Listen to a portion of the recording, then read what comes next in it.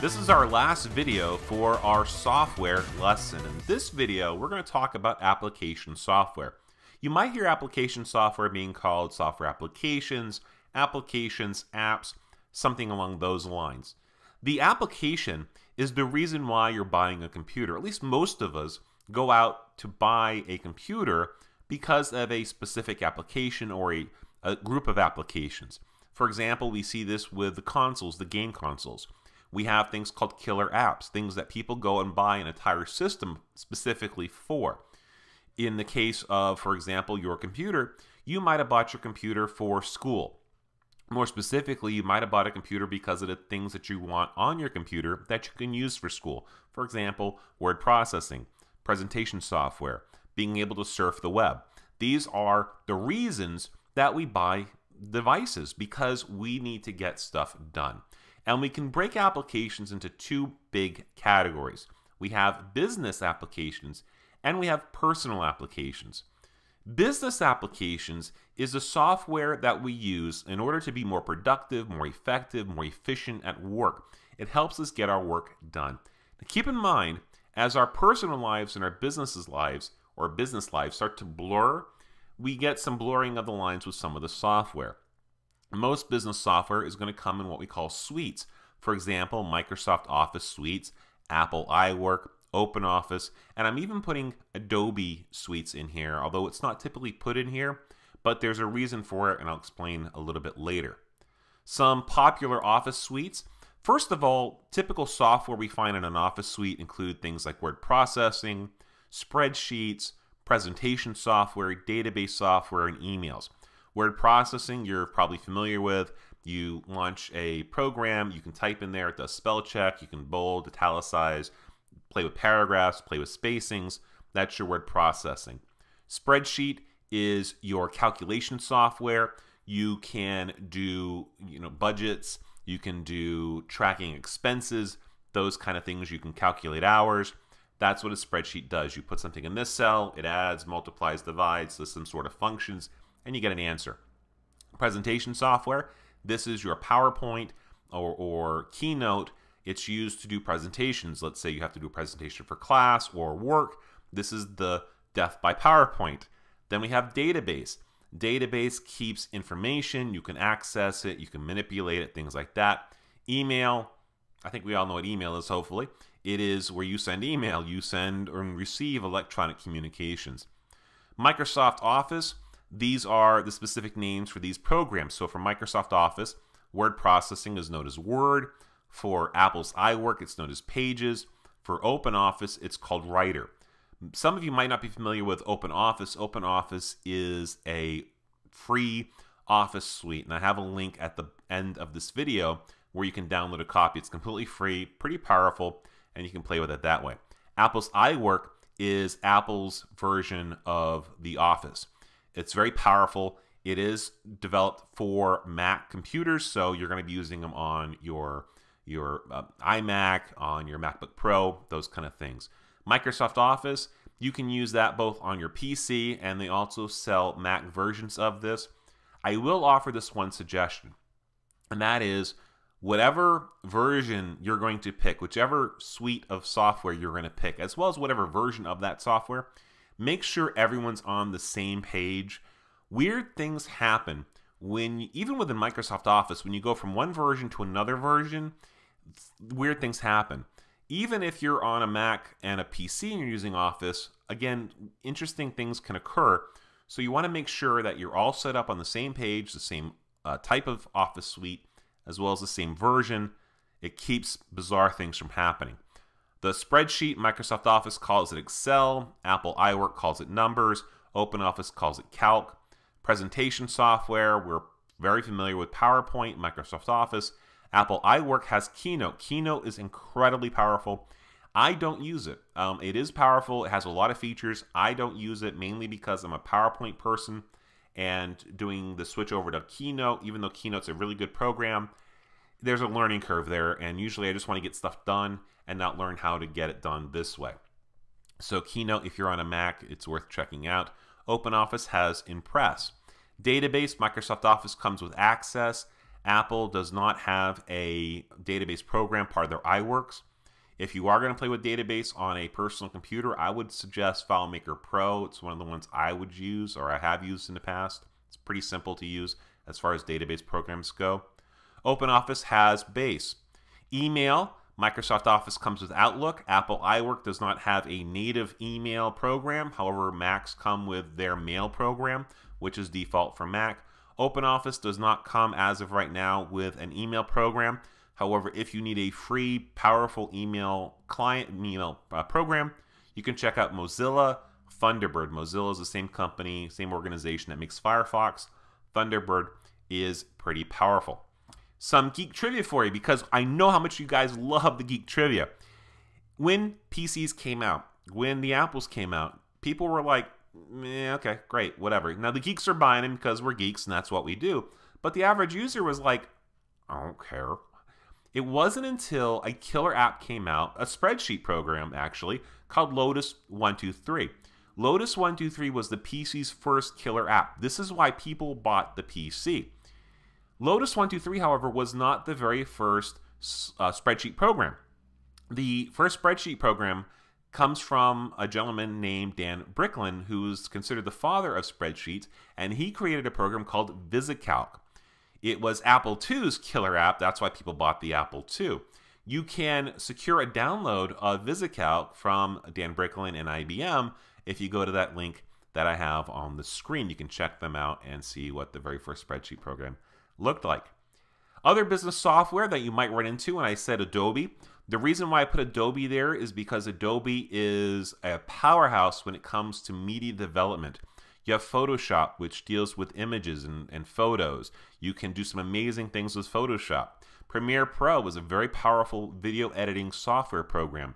After Effects is a video graphics and development and design. You can do special effects with Adobe After Effects, and there's a whole bunch of other Adobe products you can check out. If you are on the creative side of business, for example, you're developing web pages or media, you're probably going to be use Adobe. There's other companies out there with other software that you can also play with. Again, you want to make sure your shop is one shop. You don't want to mix and match software in general, in general. Other business software, for example, would be TechSmith Camtasia, which is what I'm using to record and present these presentations. I use Premiere Pro for some other videos where I'm in the studio. You can check that out. Snagit, very powerful screen capturing software. Evernote, check out Evernote. It's actually one of my five resources at the end of this video. Evernote, very, very, very powerful. It is a remember everything software program. You can keep your contacts, your to-do lists. Very powerful. There's a really good free version. Again, check it out. It's all cloud-based. We'll talk about cloud-based in the next series of videos. Personal software. This is the stuff that you use for personal use. It meets your individual needs. There's a whole bunch of different categories, and depending on who you read, they break the categories into different groups. Here's a general grouping of categories. We have financial. For example, Quicken, Good Home Budgeter Program. TurboTax, April 15th, here in the States. You got to do your taxes, or you have to submit your taxes by then. TurboTax, very popular tax program. Communications, you have social media, Facebook, Twitter, um, Instagram, uh, Pinterest. So you have a bunch of different social media programs. These are programs, social media communication programs. Instant messaging, Skype, these are all different ways to communicate using software. Education, some good education software out there. For example, Rosetta Stone, if you want to learn another language. Uh, Beacon, this is a classic typing program. Jumpstart, really good software for elementary students. Entertainment, this is why a lot of people buy computers. You're buying them for video games. You're buying them to play World of Warcraft or something else. Uh, media players. So, for example, if you're watching this, you might be watching these videos on a media player. If you're listening to music, you have media players. So, you have your software. You have to install your software, and maybe you want to take the software off your computer. So, we're looking at installation of software, and we're also looking at uninstalling software. Both as far as installing software, whether you're on a PC or a Mac, is fairly straightforward. A lot of them come with wizards. You just click, click, click, accept the uh, user policies, and nobody reads the user policies. I think South Park did an episode about user policies in Apple. You, again, fairly simple to follow. Uninstalling software on a PC, you just don't want to go in and delete something. You want to go through the uninstall process, and you can go through that via the control panel, or the software might have an uninstall feature right there where you're clicking the program to launch. When you're dealing with a PC, when you install software, it just doesn't put it in one place. Software gets installed throughout your computer. It has a lot of um, tentacles out there. It's like a tree with a lot of roots. And if you just chop off one, the roots are still there, which can cause problems. So the uninstall process is there to take out all the roots and remove the program altogether. Whether or not it does all the program is it depends on the software.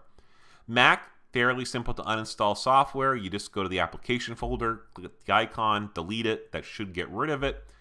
Sometimes it does, sometimes it doesn't. You probably want to look to see if there's an uninstall option. For example, all my Adobe products have uninstall features even on a Mac.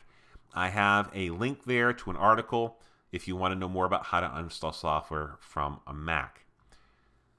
Piracy, arg, piracy is illegal. This is where you take software and install it without the proper rights. You might be installing a copy of a copy. You might be BitTorrenting these files, and in other words, illegally downloading them. It is illegal to do so. Even if you don't care if it's illegal or not, the reason why I would suggest being very careful, if not doing it at all, is because viruses and malware lurk in a lot of pirated versions of software. This is going to be full of viruses typically. So let's say you do BitTorrents you go to Pirate Bay and you start to download a software or you download music or whatever you download, you have to be really careful because that's where a lot of bad stuff hangs out. And so you can really get some nasty viruses on your computer. So, in general, piracy illegal, don't do it, just say no. If you work for a company and they're pirating software, good news for you, you can make some money by being a dirty rat. I'm kidding, kind of kidding, but you can make some money actually by turning them in. You can contact the manufacturer directly if you uh, so let's say they're stealing Adobe products or Microsoft products, you can contact Adobe and Microsoft directly and report the stolen software. Or you can go to BSA, and I've got the website there as well as a phone number. If you report the software being pirated and then they find out it is pirated, you get a monetary reward for turning them in. Okay. Finally, our three to five links that I highly suggest, and these are some good ones. The first three have to deal with learning about software. So, for example, if you really enjoyed the talk about computer programming and you want to learn Java or uh, C or whatever, check out these three sites. We have lynda.com. Lynda.com is a membership driven site. I pay about $25 a month for my membership, and it is well worth it. They have trainings on all sorts of different computer programs. Anybody in the creative world has a subscription to one of these three uh, companies that I'm going to talk about because you're constantly learning new material. So, lynda.com, excellent, excellent company to go through. $25 a month is the minimum membership, and you get access to their entire, quite impressive library. The newer company on the block is Treehouse this is the website. I don't have a membership there, but from everything I've heard and I've seen of Treehouse, I would also have no problems recommending them to anybody out there. Udemy, this one is just popped up on my radar. Udemy is a uh, kind of a community driven site, it looks like, where different instructors can offer their courses for a different amount of money.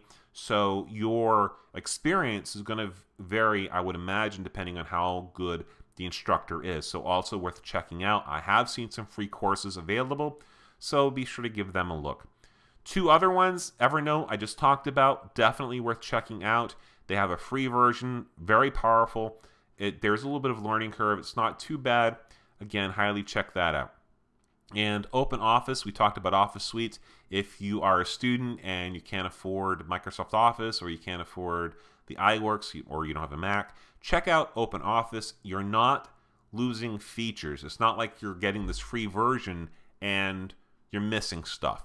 Open Office is incredibly powerful. Again, the one caveat I would offer is make sure that whatever shop you're in or wherever everybody's using the same software, be sure there. Anyways, that's it from me. Hope you've enjoyed it. This concludes lesson three software. In lesson four, we're going to start taking a look at the interwebs. yes, the internet. Until then, thank you for watching. Be sure to subscribe, and we'll see you for our next series of videos. Bye bye.